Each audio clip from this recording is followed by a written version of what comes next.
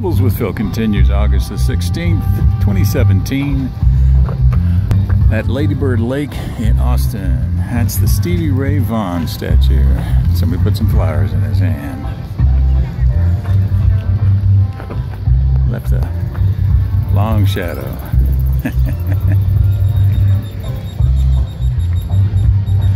if you didn't know, you'd think that could be an Indian or a, if it wasn't for the guitar and explore some Don from Spain.